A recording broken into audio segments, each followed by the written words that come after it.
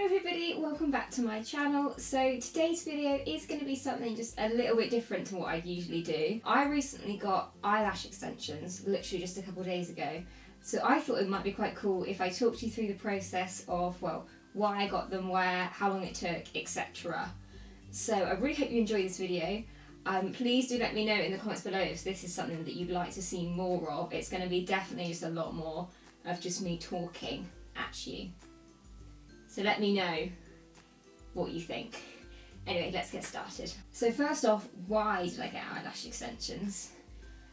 I mean, out of everything, you'd have seen this in any makeup videos that I've done previously. The one thing that I'm really not great at is applying mascara in general, to be honest with you, just sorting out my eyelashes. I find them really short, really stubby, really, really hard to apply mascara to. My bottom lashes, I just don't even bother. I still don't now just because it will always go horrendously. So out of anything I was ever going to get done, whether it's going to be like my brows, um, my lashes, whatever, it was it, for me it was always going to be my eyelashes. And really, what sparked it in my mind to get them is that I have a friend at work called Tessa who I think her friend's recently been qualified to do them, so she was going to get some done. And that kind of just in my mind sparked, oh, maybe I could get some done because I knew that I was going to go um, to the salon that I went anyway because I was going to book in a back massage. So that's kind of why I got them, which leads on to where. So I went to a salon called Deborah Louise. If you live in Somerset, it's in Street, which is where Clark's Village is. Um, and I go there to get my hair done, like nails, anything like that. Um, as I said, I'd already was already planning on getting a back massage. Saw that they did eyelash extensions there, and it was with the same um, beautician. So I decided, you know what, I'm just going to book it in. So on Wednesday, um, a couple days ago, I went in, had a back massage, and got my eyelashes done. So I was in the salon for quite a long time, probably about said two and a half hours probably overall. Um, but it was a really nice to get a back massage and b really fun getting my eyelashes done. And everyone in that salon is so friendly, so I would definitely highly recommend it. It cost me for a full set £45. That's how much it cost at that salon, which I think is probably very similar to the price that it is um, everywhere else as well. At least local to me, all of the salons were around that price. just excuse me while I die. okay, I need to just stop dying for a second. So now I'm going to talk about how I got them done, like the process going through. Obviously, technically I can't say anything because I have no idea how they actually really attach them to your lashes, but I'll talk about what I experienced. So first of all, it didn't take mine. I don't think took too long. Um, the beautician said that potentially it could take about two hours, but I think with me it only took an hour and a half, like maximum, maybe not even that, to get the full set done. I was really fortunate, I think, as well, because I didn't react at all to the tapes. Obviously, to start with, they have to tape your bottom lashes down to make sure they don't stick your lashes together. Um, and I didn't react at all to that. I don't know if it was because sometimes if I ever do winged eyeliner, I'll always put sellotape so I get a straight line. I don't know if maybe that's because I was used to then having tape in my eyes that I didn't react. Maybe that was it. But for me, that part didn't really feel uncomfortable at all. And I didn't react at all to the glue either. So obviously the glue that they use to stick the lashes to your natural lashes.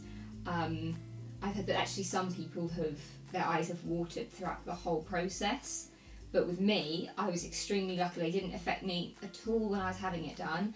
And then actually afterwards, obviously, when you open your eyes, um, like mine watered the tiniest bit. My right eye like watered literally the tiniest bit. But besides that, I was so lucky. They didn't sting at all. They didn't go red at all. Like it was, it was, it was literally ridiculous um, because I have seen videos of other people getting them done and afterwards their eyes are like watering like crazy.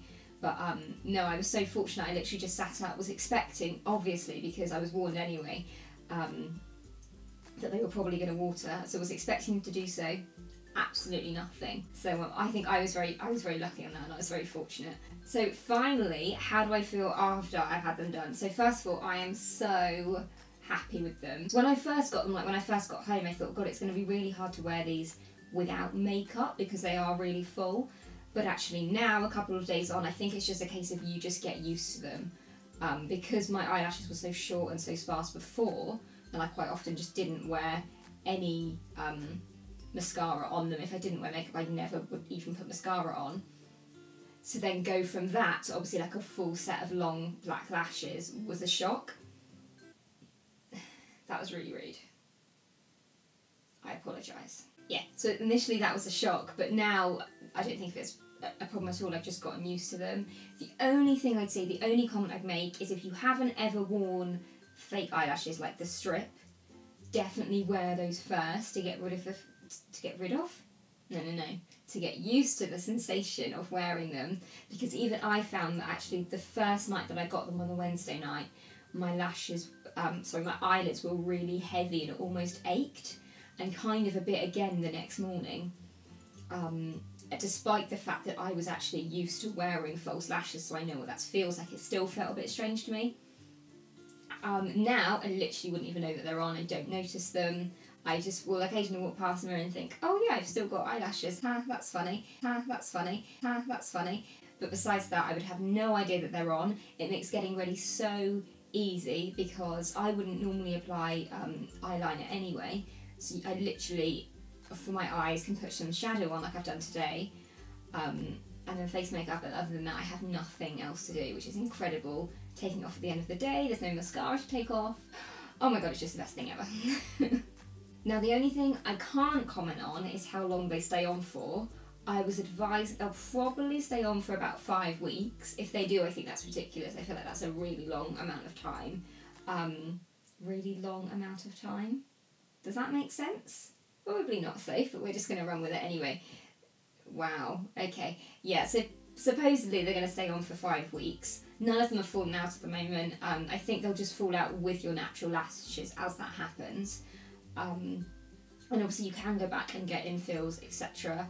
When I first got them, my initial thought was I'm just going to try it and I probably won't get them again after this.